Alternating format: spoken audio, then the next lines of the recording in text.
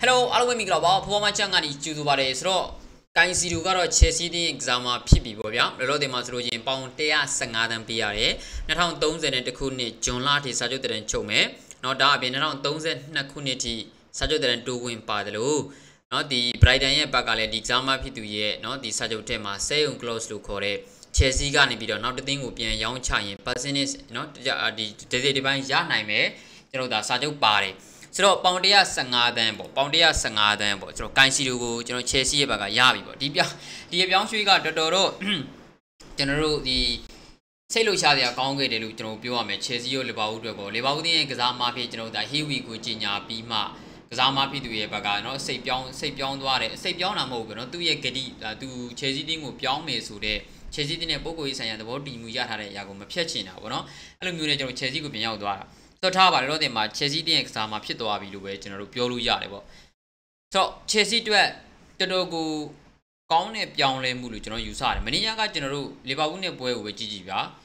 အန်ဇိုဖာနက်စ်တက်ရောက်တယ်ဘယ်လောက်ကောင်းလဲ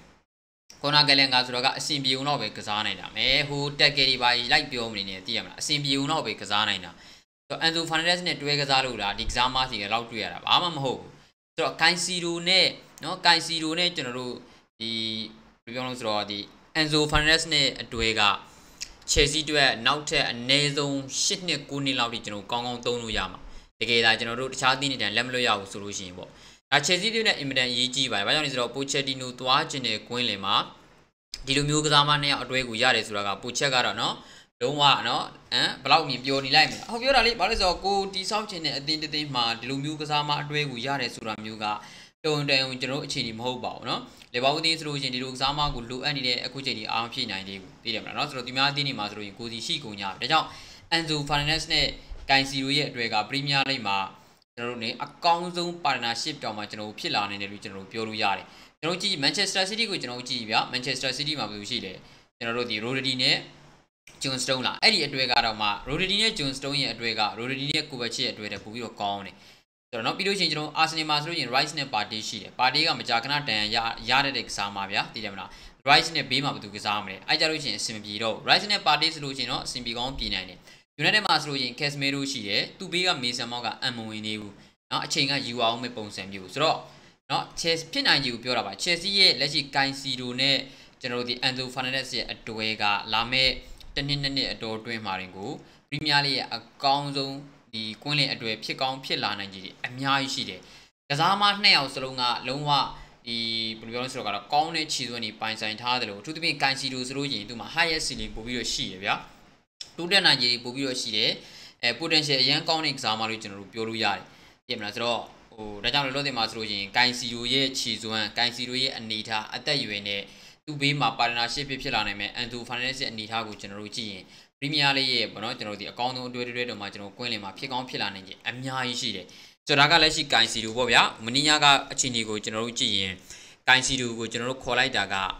ကွင်းလင်ကစားမှာဖြစ်တဲ့ Enzo Fernandez ဆိုရက်အများကြီးအကျိုးရှိမှာပါ။ဘာကြောင့်လဲဆိုတော့ Enzo Fernandez ကပြိုင်ဘက်ရဲ့ area box နဲ့နီးလေအတင်းတွေတစ်ခုခုလုံးပြနိုင်လေပဲ။အထူးသဖြင့်သူ့ကိုကျွန်တော်တို့ဒါထားပါတော့ deep zone မှာထားလို့ဘာမှမဖြစ်ဘူးဗျာ။ သိမလားကွင်းလေးကို control လုပ်နေတဲ့ကစားမတယောက် Fernandez ကဒါပေမဲ့လို့အဲ့ဒီနေရာမှာတယောက်ယောက်ကစားနိုင်လို့ရှိရင် Enzo Fernandez စီကနေပြီးတော့ကျွန်တော်တို့အနေနဲ့ဖြတ်တင်ဘောတွေပဲဖြစ်ဖြစ်เนาะဒီ win နှစ်ထပ်မှာရှိတဲ့ကစားမတွေနဲ့ link up play တွေပဲကျွန်တော်တို့ဖြစ်ဖြစ်เนาะဒီ bid play သွားတဲ့နေရာမျိုးဒီမှာ final third zone ရဲ့ထိပ်မှာအတင်း position ကျွန်တော်တို့ဆက်ပြီးတော့ maintain လုပ်လို့ပဲဖြစ်ဖြစ်ဒါမှမဟုတ် chance create လုပ်ဖို့ပဲဖြစ်ဖြစ် Enzo Fernandez စီကနေပြီးတော့အခွင့်အရေးတွေကအများကြီးရမှာဆိုတော့ Kain Siru ကိုခေါ်တာက final စီကနေပို့ပြီးတော့ကောင်းတဲ့အရေးသွေးတွေကိုကျွန်တော်တွေ့ရမှာဒါတေချာပေါက်ပဲဆိုတော့ကိုင်စီရိုအနေနဲ့ဒီ Chelsea တင်းအတွက်အများကြီးပြောင်းလဲပေးနိုင်ပြီကစားမလို့ကျွန်တော်ယူဆတယ်ဆိုတော့ဒီနေရာကျွန်တော်တို့ဒီလိုပြောတဲ့အခါမှာဒီလိုဒီလိုဒီအကြောင်းကိုကျွန်တော်ပြောထားပါတော့ပြောင်းရွှေ့ဒီပါတွေကိုပြောတဲ့အခါမှာကျွန်တော်ဈေးနှုန်းမပါဘဲနဲ့ပြောလို့မရအောင်ပေါင်115တန်းပေါင်115တန်းပေါင်115တန်းဆိုတော့ကတော်တော်ကြီးများလို့ ਨੇ ပမာဏပါ ပုံမှန်တန်း90လောက်နဲ့ရမယ့်နေရာကနေလေဘာဦးတင်းနဲ့ကြားထဲမှာပြနော်ဒီဗါလေတိုင်နေပါတွေပက်လာနှစ်တင်းညမှာဘယ်တင်းကရမရပါညာပြောကြရင်လည်းပေါင်115တန်းကြီးပေးလိရတယ်လေဘာဦးတင်းတော့ကံမကောင်းတာဘာကြောင့်လဲဆိုတော့ကစားမကခြေစည်းနဲ့ပုံကိုဆိုင်တဲ့သဘောတည်မှုရင်ရထားပြီးတော့လေဘာဦးတင်းရဲ့ဘက်ကတန်130နဲ့တက်နိုင်နေမှသူတို့ကျူးပန်းခဲ့ပြီးမြဲအဆင်မပြေခဲ့ဘူးဆိုတော့115တန်း115တန်းကတော်တော်ကြီးများလို့နေပမာဏပါကကစားမတယောက်အတွက်ပေါင်သန်း100ပေးတယ်ဆိုတာမျိုးကတော်တော်ကြီးကိုအန်တီများပါတယ်ကျွန်တော်တို့အကယ်လို့မြန် ဒီကစားမဖြစ်သူက flop ဖြစ်သွားတယ်ဆိုလို့ရှိရင်ဒါမှမဟုတ်ဒဏ်ရာပြဿနာရသွားတယ်ဆိုလို့ရှိရင်ဒဏ်ရာပတ်ပြီကြည့်ရမှာဒါပေမဲ့လို့ Enzo sorry ဗါလေဒီ Kaisiro က Kaisiro ကလောလောဆယ်မှာကျွန်တော်တို့ကြည့်ရင်တော့ပေါင်115တန်တန်နေတူလားဆိုဘယ်တန်မလဲလောလောဆယ်မှာကျွန်တော်တို့ဒီဘယ်လိုပြောလို့ဆိုတော့လောလောဆယ်ပရီးမီးယားတွေမှာနော်အဲ့ဒီကွင်းလေစုံမှာပေါင်တန်း100တန်တယ်တကယ်တမ်းသာပေါင်တန်း100တန်လို့ကျွန်တော်တို့ထင်တဲ့လူကိုပြတော့ရိုရီဒီတယောက်ပဲရှိတာ ရိုရီဒီတယောက်ပဲရှိတာသိတယ်မလားဘာလို့လဲဆိုတော့ရိုရီဒီကတက်တည်ပြပြီးသားကစားမတယောက်ဖြစ်တယ်ဗျာရိုရီဒီကလည်းတော့တဲ့ပရီးမီးယားလေးမှာအကောင်းဆုံး DM တယောက်ဖြစ်တယ်ဗျာဟုတ်တယ်မလားသူရဲ့ကစားဟန်နဲ့ဘာနဲ့ဒါပေမဲ့လို့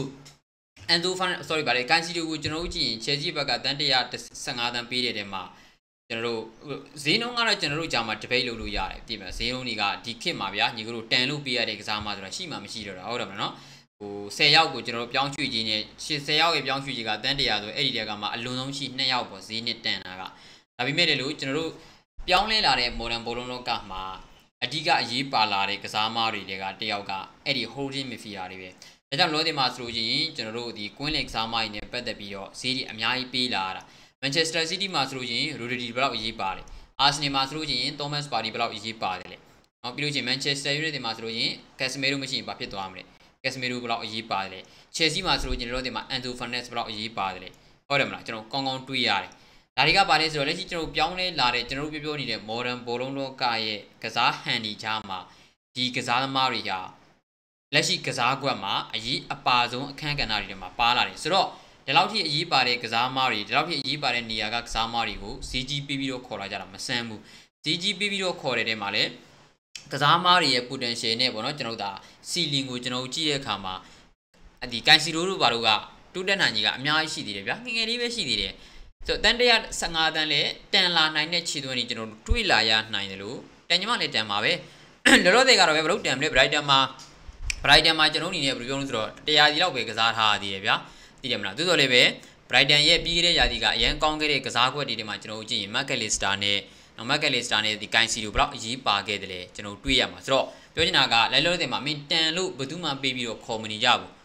ကိုအသင်းကိုအမှန်တကယ်ပြောင်းလဲပြီးနိုင်မယ်ကစားမလို့ယူဆထားပြီးတော့ငါတို့တော့ဒီကစားမကိုရကိုရဖို့လိုတယ်လို့ကျွန်တော်တွေးလိုက်ခေါ်ကြတာပဲမင်းညာကချယ်ဆီနဲ့လီဗာပူးတင်းရဲ့ပွဲစဉ်ကိုကျွန်တော်တို့ကြည့်ကြည့်ဗျာလီဗာပူးတင်းဆိုတော့ပုံမှန်အားဖြင့်တန်းရာကျော်သုံးတဲ့အသင်းမဟုတ်ဘူးဒါပေမဲ့ကိုင်စီတူကိုတန်130ပေးတယ်ဒီကျွန်တော်တို့ဒီ auction လုပ်တဲ့နေရာမှာဘာလို့ပေးလဲမင်းညာကညီကတို့တွေးခဲ့တာပဲ ဆိုတော့အဲ့ဒီနေရာမှာကစားမမရှိတဲ့ကသူတို့ဘာဖြစ်လဲဘာမှလုပ်လို့မရဘူးသူတို့သွားခြင်းတဲ့ပုံစံတိဆောက်လို့မရဘူးဆိုတော့သူတို့တွေအဲ့ဒီနေရာကကစားမရဖို့ကအရေးကြီးဆုံးဖြစ်လာပြီချယ်ဆီဆိုလို့ရှိရင်ကျွန်တော်လက်ရှိမှာအန်တိုဖာနက်ရှိနေတယ်ဒါပေမဲ့လို့အန်ဆိုရဲ့လက်ရှိချယ်ဆီမှာကစားနေရတဲ့အနေထားက limit ဖြစ်နေတယ်ဗျာသိလားဒါကဘာကိုပြောသလဲဆိုသူစီကနေပြီးတော့ဟိုစွမ်းဆောင်ရည်တွေအကုန်လုံးကိုမရဘူးဖြစ်နေတာဆိုတော့သူအန်တိုဖာနက်စီကစွမ်းဆောင်ရည်တွေအကုန်ရဖို့အတွက်သူ့ဘေးမှာ နော်စိတ်ချရမယ့်အဲကျွန်တော်တို့ဒီကစားမတယောက်ကလိုတယ်လက်ရှိအန်တိုဖာနက်စ်လိုပဲဒါကြောင့်လည်းပဲချယ်ဆီရဲ့ဘက်ကအန်တိုဖာနက်စ်ကိုပေးခဲ့တာပဲရိုမီယိုလက်ဗီယာကိုပေါင်တန်း90ကျော်ပေးတာကတော့နော်ဒါကတစ်မျိုးမတက်နိုင်ဘူးဒါကတော့ကိုကိုတို့ကနဲ့ကိုပဲသိရမလားနော်သူတို့လည်းပြောနေတာကလောလောဆယ်မှာတန်115တန်းဆိုပြီးတော့ပေးရတဲ့ဈေးနှုန်းကတော်တော်ကြီးများပါတယ်နော်ဒီချီနေရကြည့်ရင်တော့ကျွန်တော်တို့တန်တယ်လို့မြင်ကြမှမြင်လိမ့်မယ်တော်တော်လေးပဲတိုးတက်နိုင်ခြေကိုကျွန်တော်ကြည့်ရတာကထူးသဖြင့်တော့ကိုင်စီယိုနဲ့အန်ဇိုဖာနက်စ်ရဲ့တန်းရာဂျော်ဒန်အတွဲက တော်တော်ကိုကျွန်တော်တို့အနေနဲ့9နှစ်10နှစ်9နှစ်လောက်ထိကိုကောင်းကောင်းစိတ်ချလက်ချသုံးလို့ရနိုင်တဲ့ potential မျိုးကိုကျွန်တော်တွေ့နေရတယ်ဗောနော်စောင့်တော့ကြည့်ရမှာပဲဒါကြောင့်လည်းပဲ Chelsea တင်းရဲ့ဘက်ကအဲ့လောက်ထိစီးပေးခဲ့တာပဲနော်ဆိုတော့အသင်းတိုင်းမှာဒီဒီ position ကြီးကအရန်အရေးကြီးတယ်ဗျာပြည်တယ်မှာကိုသွားခြင်းတဲ့ကစားဟန်တစ်ခုကိုတိစောက်ဖို့အတွက်ဆိုလို့ရှိရင်ဒါကြောင့်ဗောနော်တော့ဒီမှာ Pochettino အတွက်တော့ Immediate ကောင်းတဲ့နော်ကစားမတယောက်ရောက်လာပြီလို့ကျွန်တော်ပြောလို့ရတယ်ဆိုတော့ညီကတို့ရောဘယ်လိုမြင်ရလဲဒီကစားမဖြစ်သူရဲ့ပြောင်းရွှေ့နေပတ်သက်ပြီးတော့ comment တွေမှာဆွေးနွေးကြပါအောင်အားလုံးကိုချစ်တင်များကြပါတယ်